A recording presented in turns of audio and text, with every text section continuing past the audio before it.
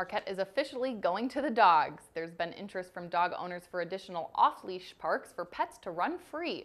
So the City of Marquette's Parks and Recreation Advisory Board is considering other options for pet owners where their dogs can run without their leash. Currently, Tourist Park is the only off-leash facility for dogs. Right now, you can voice your opinion via survey. To participate in the survey, visit the City of Marquette's website. You have until Sunday, May 31st to voice your opinion. We'll have the survey on our website for you to take as well.